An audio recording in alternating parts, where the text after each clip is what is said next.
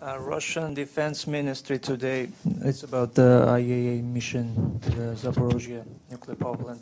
Russian Defense Ministry today stated that uh, the Ukrainian group of saboteurs tried to uh, attempted to um, seize, to capture the station in order to use the mission as a human shield.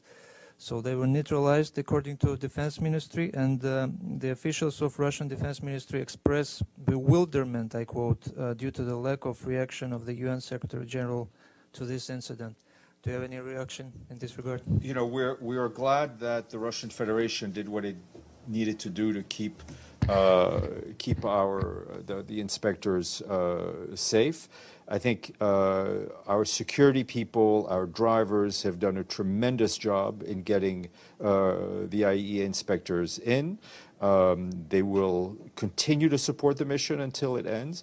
And it is, um, like with any UN uh, mission, it is the responsibility of those uh, in, um, uh, who have uh, power over certain area and who are responsible for certain area to keep UN staff uh, safe.